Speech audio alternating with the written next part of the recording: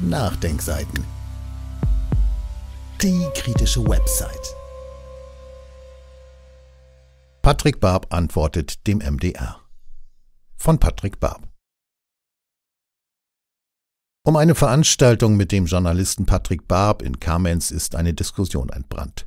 In diesem Zusammenhang hat Barb einen offenen Brief an den Mitteldeutschen Rundfunk MDR verfasst, in dem er vom Sender gestellte Fragen beantwortet.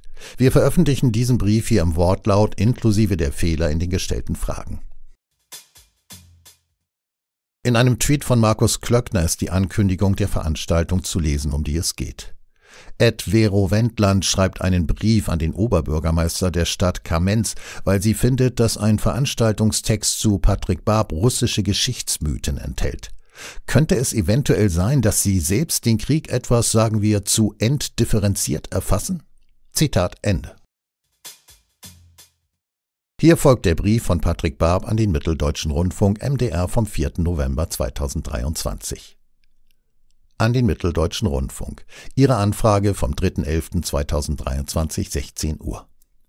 Sehr geehrter Herr, zu den Fragen in Ihrer Mail vom 3.11.2023 um 16 Uhr nehme ich gerne Stellung. Erstens. Was sagen zur Kritik von Frau Wendland, dass SIG sie geschichtsrevisionistische Mythen über den Ukraine-Krieg reproduzieren? Antwort alle Darstellungen in meinem Buch auf beiden Seiten der Front, meine Reisen in die Ukraine, befinden sich in Einklang mit dem internationalen Forschungsstand. Sie beruhen auf eingehender Recherche sowohl auf ukrainischer als auch auf Seiten der russisch besetzten Gebiete und folgen der journalistischen Handwerksregel, beide Seiten zu hören. Meine Rechercheergebnisse habe ich umfangreich mit Quellen und Fachliteratur belegt. Ich verweise auf den Anmerkungsapparat. Frau Dr. Wendland ist als Expertin für den Konflikt im Donbass und den völkerrechtswidrigen Angriffskrieg der Russischen Föderation in der Ukraine bislang nicht hervorgetreten. Ihre Einlassungen folgen offenbar der ukrainischen Propaganda. Eigenständige Recherchen im Kriegsgebiet hat sie nicht durchgeführt. Ihre Einschätzungen hat sie, anders als ich, fernab der Gefahrenzone am Schreibtisch entworfen. 2. Vor einigen Tagen sprachen Sie während einer Buchlesung in Berlin. Etwa bei Stunde 1, Sekunde 10 zitieren Sie die Politikwissenschaftlerin Nina Khrushcheva und stimmt SIG ihrer Einschätzung zu. Zitat Amerikaner haben Putin in eine Falle gelockt und der Blödmann ist reingetappt. Und ich glaube, das war so. In Reden hat Wladimir Putin immer wieder die Unabhängigkeit und Staatlichkeit der Ukraine bezweifelt, beispielsweise in seiner Rede vom 23.02.2022. Es ist anzumerken, dass die Ukraine eigentlich nie stabile Traditionen echter Staatlichkeit hatte. Auch in anderen seiner Texte deuteten sich seine imperialistischen Pläne an. Können Sie mir erklären, warum Sie Putin und seine Gefolgsleute nicht als die vordergründigen Aggressoren im Ukraine-Krieg betrachten? Antwort Dr. Nina Khrushcheva ist Professorin für internationale Politik an der New York School in New York. Sie ist amerikanische Staatsbürgerin und Urenkelin von Nikita Khrushchev. Als einer der wenigen US-Experten kennt sie Putin persönlich. Hier ihre vollständige Aussage.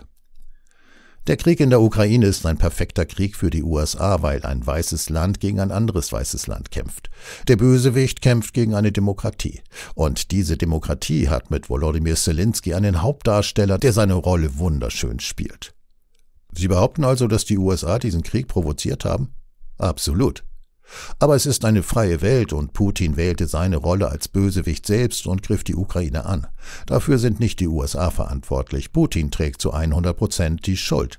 Diese permanente Diskussion war eine Falle und dieser Idiot tappte hinein. Khrushchev, Nina. Ich hasse es, Putin und meinen Großvater im selben Satz zu nennen. In Tagesanzeiger vom 7. Oktober 2022. Die Überlegungen, dass es sich gerade nicht, wie die NATO-Propaganda uns weismachen will, um einen unprovozierten Angriffskrieg handelt, sondern dass die USA und die NATO den Krieg in der Ukraine provoziert haben, sind Teil der internationalen fachlichen Diskussion und bilden den Stand politikwissenschaftlicher Forschungen ab. Dies macht aus einem völkerrechtswidrigen Angriffskrieg keine Friedensmission. Hier beispielhaft die Äußerungen einiger Experten für die Genese des Krieges in der Ukraine. Professor Jeffrey Sachs von der Columbia University in New York, Sonderberater des Generalsekretärs der Vereinten Nationen, Berater des Internationalen Währungsfonds, der Weltbank, der OECD, der WTO und des Entwicklungsprogramms der Vereinten Nationen sowie Regierungsberater in Bolivien, Polen, Jugoslawien und Russland, Zitat der Krieg in der Ukraine ist der Höhepunkt des 30 Jahre alten Projekts der US-Neokonservativen. Die beiden Administration ist voll besetzt mit denselben Neokons, die sich stark gemacht haben für die vom Zaun gebrochenen amerikanischen Kriege in Serbien 1999, Afghanistan 2001, Irak 2003, Syrien 2011 und Libyen 2011 und die alles taten, den russischen Überfall auf die Ukraine zu provozieren. Die Bilanz der Neokons ist ein vollständiges Desaster. Dennoch hat sich Biden mit Neokons umgeben. In der Folge lenkt Biden die Ukraine, die Vereinigten Staaten und die Europäische Union in ein weiteres Debakel. Wenn Europa noch einen Restverstand besitzt, wird es sich lossagen von diesen außenpolitischen Katastrophen Amerikas. Jeffrey D. Sachs Ukraine, the latest Neocon disaster. In Other News vom 27. Juni 2022. Professor John J. Mearsheimer, Experte für internationale Politik an der Universität Chicago. Zitat Die Vereinigten Staaten und ihre europäischen Verbündeten tragen die Hauptverantwortung für diese Krise. Die Wurzel des Übels ist die NATO-Erweiterung, das zentrale Element einer umfassenden Strategie, die darauf abzielt, die Ukraine aus der Umlaufbahn Russlands herauszulösen und sie in den Westen zu integrieren. Gleichzeitig waren auch die EU-Osterweiterung und die Unterstützung des Westens für die prodemokratische Bewegung in der Ukraine, beginnend mit der Orangenen Revolution im Jahr 2004, entscheidende Elemente. Seit Mitte der 1990er Jahre lehnt die russische Führung die NATO-Erweiterung entschieden ab, und in den letzten Jahren hat sie deutlich gemacht, dass sie nicht tatenlos zusehen würde, wie ihr strategisch wichtigster Nachbar zu einer westlichen Bastion wird. Für Putin war der illegale Sturz des demokratisch gewählten und prorussischen Präsidenten der Ukraine, den er zu Recht als Staatsstreich bezeichnete, der letzte Strohhalm. In Foreign Affairs, Volume 93, Nummer 5, September, Oktober 2014, Seiten 77 bis 85, übersetzt mit Depot. Professor Robert H. Wade, Experte für globale Wirtschaftspolitik an der London School of Economics, sieht eine seit langem bestehende US-Strategie für einen Regimewechsel in Moskau mit der Ukraine als Dreh- und Angelpunkt. Einerseits schicken sie genügend militärische und andere Ausrüstung in die Ukraine, um das russische Militär in einem Sumpf zu versenken. Auf der anderen Seite verhängen sie strenge, weitreichende Sanktionen gegen Russland, um die russische Elite zu stören und die Lebensbedingungen der russischen Mittelschicht zu verschlechtern. Diese Kombination sollte lange genug anhalten, damit sich die Russen erheben, um Putin zu stürzen und einen Präsidenten aller Jelzin einzusetzen, der dem Westen wohlgesonnener ist. Doch diese Waffen plus Sanktionen Strategie brauchte einen Anlass. Putins Invasion war der erforderliche Casus belli. Die Behauptung, der Kreml sei in eine Falle der USA und der NATO getappt, entschuldigt keineswegs die russische Invasion und ihre verabscheuungswürdigen Taktiken. Aus blogs.ise.ac.uk Übersetzt mit Depot. Jacques Brot, ehemaliger Geheimdienstanalyst der Schweizer Armee und ehemaliger OSZE-Beobachter im Donbass, die USA suchten schon lange nach einer Möglichkeit, einen Angriff Russlands auf die Ukraine zu provozieren. Aus Boot, Jacques, Operation Z, Paris, Max Milo 2022, Seite 12. Die Reihe der Zitate könnte beliebig fortgesetzt werden. In ihren Fragen zeigt sich, wie es der Soziologe Pierre Bourdieu ausgedrückt hat, dass Journalisten manchmal gefährlich sind. Da sie nicht immer wirklich gebildet sind, wundern sie sich über Dinge, die nicht sehr verwunderlich sind, und über Staunenswertes wundern sie sich nicht. Die Journalisten tragen eine spezielle Brille, mit der sie bestimmte Dinge sehen, andere nicht, und mit der sie die Dinge, die sie sehen, auf bestimmte Weise sehen. Das Auswahlprinzip ist die Suche nach dem sensationellen, spektakulären. Bourdieu, Pierre. Über das Fernsehen. Frankfurt am Main, Surkamp 1998, Seite 25 und 61. Deshalb erscheint es mir klug, sich zunächst in die Geschichte des Konflikts im Donbass und der Ukraine einzuarbeiten. 3. Sprechen Sie Ukrainisch und oder Russisch? Wie verlief dahingehend Ihre Recherchereise für Ihr Buch in der Ukraine? Wurden Sie von einem Übersetzer begleitet? Wenn ja, war dieser unabhängig oder gehörte er oder sie irgendeiner Organisation an? Antwort Diese Frage zeigt, dass Sie keine Erfahrung in der Auslandsberichterstattung und in der Vorbereitung von Recherchen in Kriegs- und Krisengebieten haben. Seit 1997 war ich dagegen für den Norddeutschen Rundfunk und die ARD in Großbritannien, Skandinavien, Polen, dem Baltikum, dem Kosovo, Afghanistan und unzählige Male in der Russischen Föderation tätig. Für meine Bücher habe ich zudem in den Vereinigten Staaten, Frankreich und der Schweiz recherchiert. Insbesondere habe ich mich eingehend mit politischen Missständen in Putins Russland auseinandergesetzt.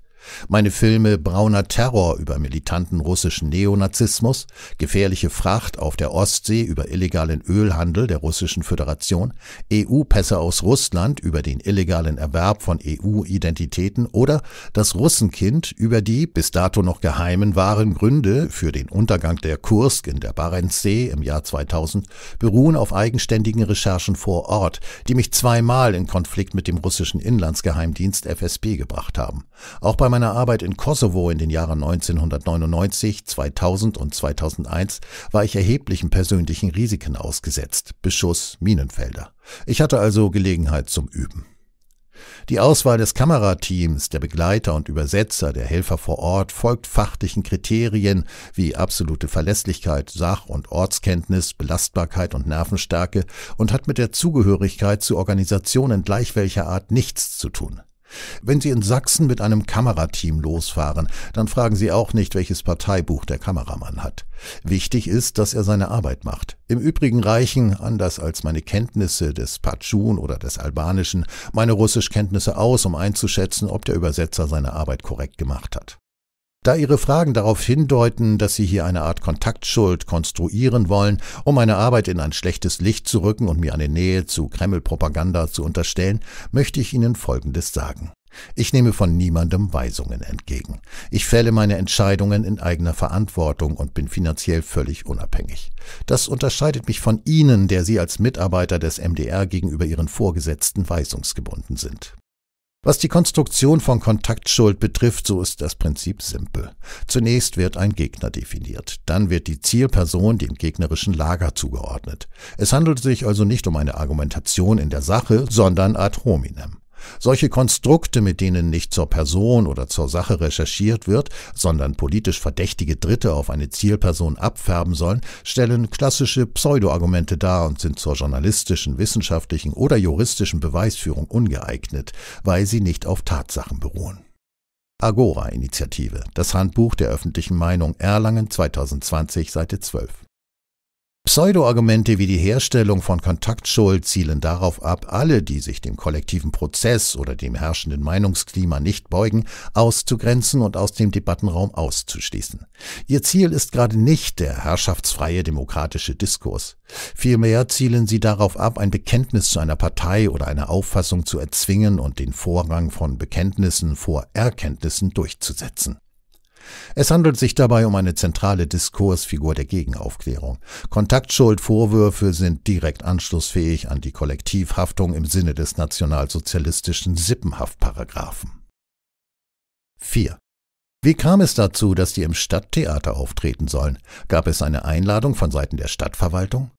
Antwort Oberbürgermeister Roland Danz hat nach eigenen Angaben mein Buch gelesen. Dort ist auch dokumentiert, wie eine von T-Online ausgelöste Denunziations- und Diffamierungskampagne auf der Basis mangelhafter Recherche und vorsätzlicher Falschdarstellungen dazu geführt hat, dass sachfremde Akademiker zweier Hochschulen aus Angst vor schlechter Presse im vorauseilenden Gehorsam meine Lehraufträge gekündigt haben. Dagegen bin ich juristisch vorgegangen.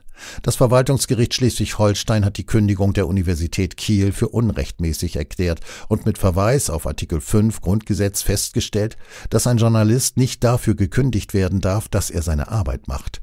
Die Universität Kiel hat auf den Instanzenzug verzichtet, somit ist das Urteil rechtskräftig. Die Stadt Kamenz hat sich mit der Reihe im Dialog vorgenommen, insbesondere jene einzuladen, die an anderer Stelle diffamiert, ausgegrenzt und beruflich beschädigt werden. Denn Demokratie heißt, auch solche Positionen in der Arena der Öffentlichkeit zu Wort kommen zu lassen, die einem nicht gefallen. Anders als jene, die mit öffentlichen Kampagnen wie Frau Dr. Wendland darauf abzielen, bestimmte Positionen oder Gruppen in den Mittelpunkt zu stellen und eine höhere Anerkennung dieser Positionen oder Gruppen durchzusetzen, bemüht sich die Stadt Kamenz damit in vorbildlicher Weise die Meinungsvielfalt und damit die demokratische Willensbildung zu stärken. Dies entspricht im Übrigen auch dem Programmauftrag des MDR. 5. Wer war für den Ankündigungstext auf der Homepage des Stadttheaters verantwortlich? Wurde dies von einem Mitarbeiter oder einer Mitarbeiterin der Stadtverwaltung verfasst oder kam der Text von Ihnen selbst? Wurde dieser Text vom Stadttheater vor der Veröffentlichung in irgendeiner Art und Weise abgenommen? Antwort diese Frage richten Sie bitte an die Stadt Kamenz. Die Vorlage für den Ankündigungstext stammt von mir. Anders als es Frau Dr. Wendland darstellt, befindet er sich in allen Punkten im Einklang mit dem internationalen Forschungsstand. Mit den Quellen und der einschlägigen Fachliteratur habe ich mich eingehend befasst. Davon unberührt ist das Recht von Frau Dr. Wendland auf freie Meinungsäußerung. Zu den drei Punkten ihrer Kritik. Putsch auf dem Maidan. Was den Putsch auf dem Maidan im Winter 2013-14 betrifft, so stehen die im Buch erwähnten Zeugenaussagen im Einklang mit der Fachliteratur. Dabei ist durchaus geklärt, dass die Schüsse aus den Gebäuden des rechten Sektors kamen. Bitte lesen Sie dazu die Seiten 149 bis 166 und folgen Sie den Fußnoten, die der Verlag ins Internet gestellt hat. Bürgerkrieg in der Ukraine der Bürgerkrieg im Donbass ab März 2014 geht nicht auf eine russische Intervention, sondern auf die Maidan-Morde und die tätlichen Übergriffe ukrainischer Faschisten und Ultranationalisten zurück.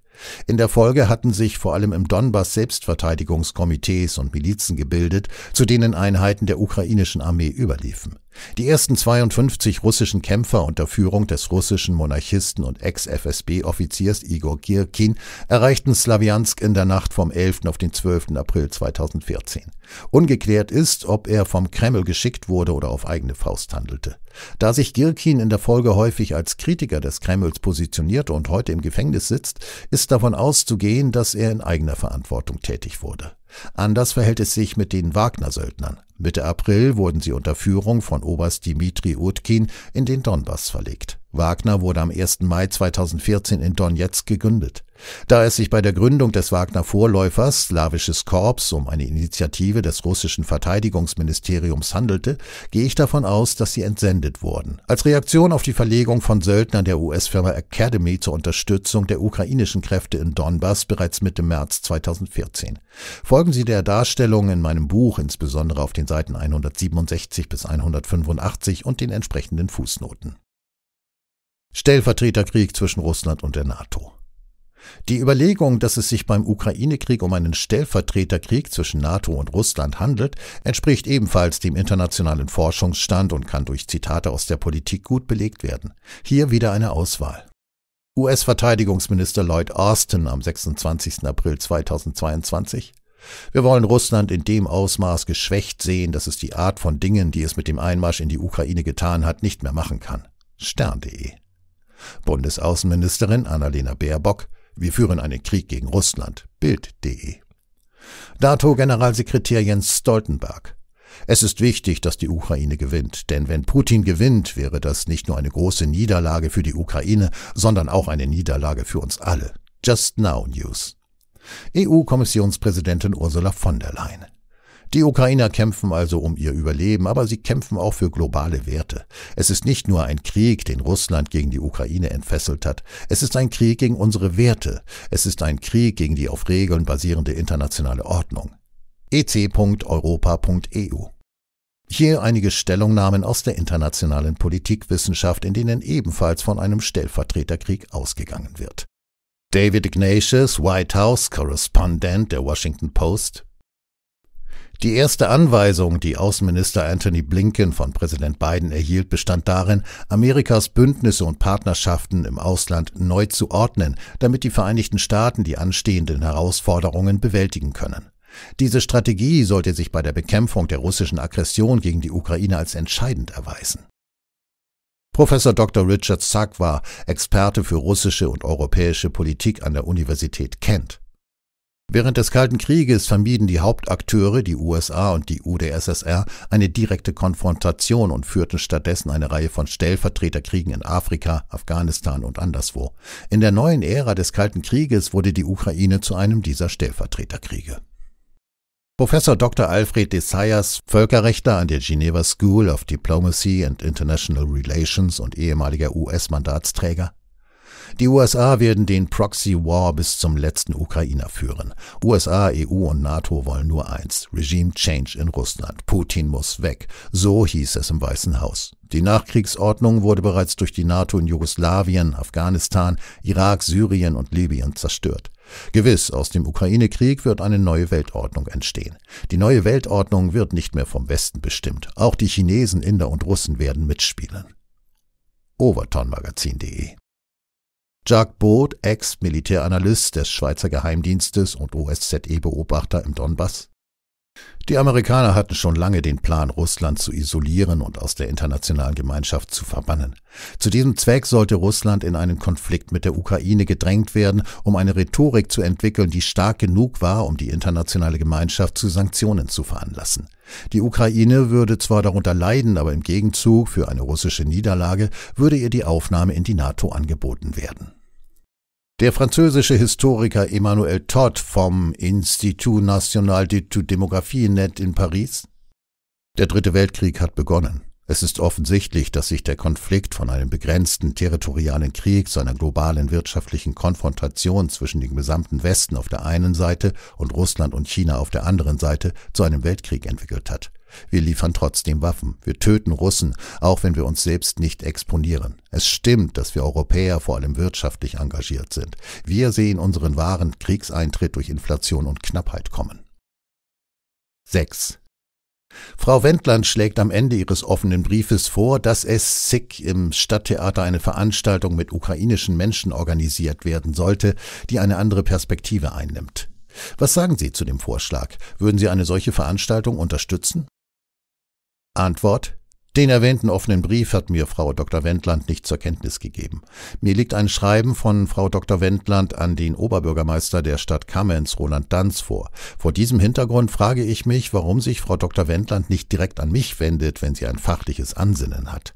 Hier darf man vermuten, dass sie vorgeschickt wurde, um eine Kampagne gegen die geplante Veranstaltung zu entfachen, bei der die Presse als williges Werkzeug eingespannt wird. Mit Einlassungen wie Geschichtsklitterungen und Falschaussagen verlässt Frau Dr. Wendland das Terrain akademischen Streits und begibt sich auf das Feld der Diffamierung.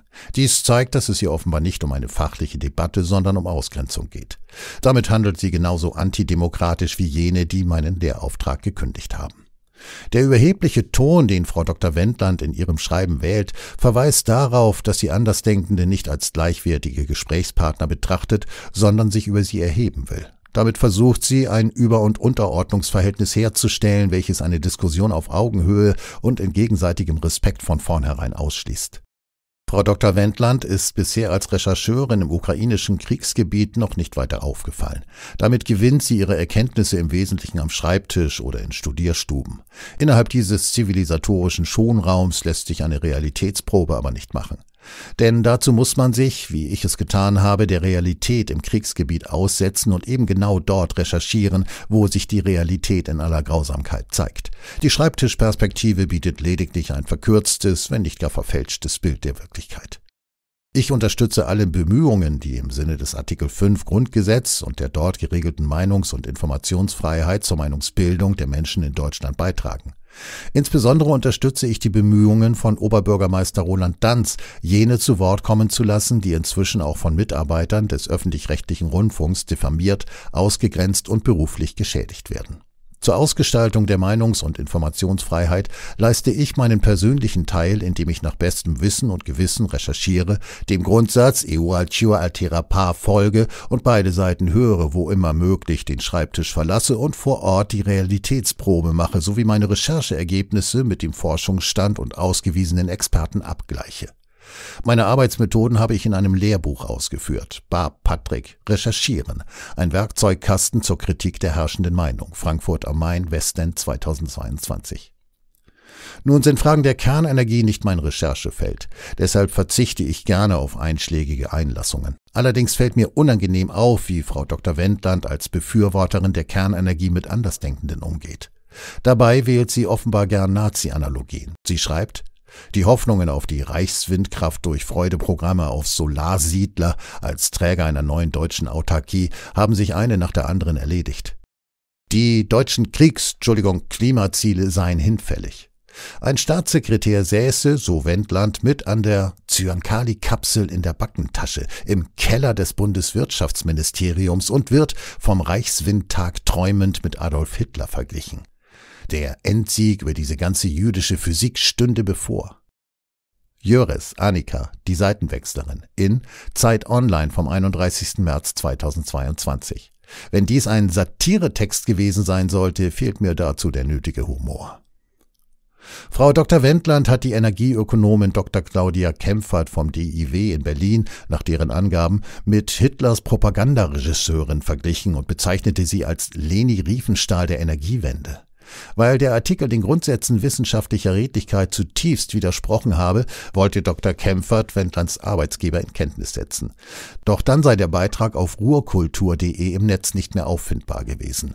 Allerdings findet sich noch ein Tweet, in dem Ruhrkultur auf den Artikel und genau diesen Vergleich verweist.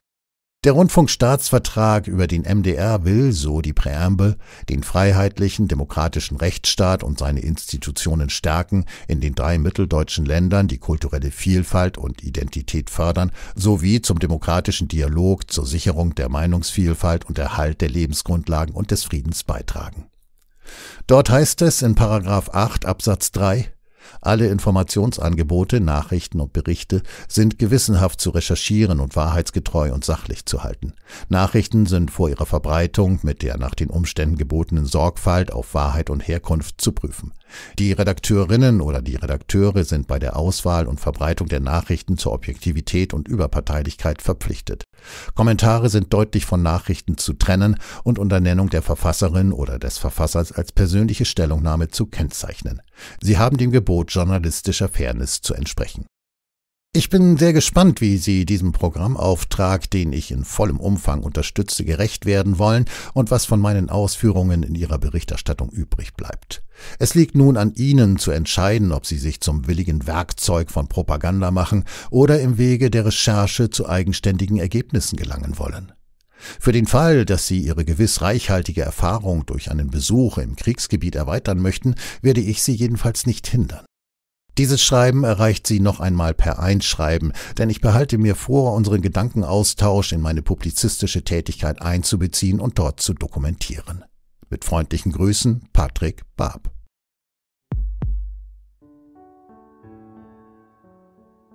Dieses Audio konnte nur entstehen, weil zahlreiche Leser und Leserinnen die Nachdenkseiten fördern und durch Spenden unterstützen. Wenn Sie auch etwas tun wollen, klicken Sie einfach den entsprechenden Button auf unserer Website an. Übrigens, Sie können uns auch bei iTunes, SoundCloud und YouTube hören und wenn Sie mögen, gerne unseren Kanal abonnieren und eine positive Bewertung für uns abgeben. Wir freuen uns über Ihre Unterstützung und die Weiterverbreitung unserer Inhalte.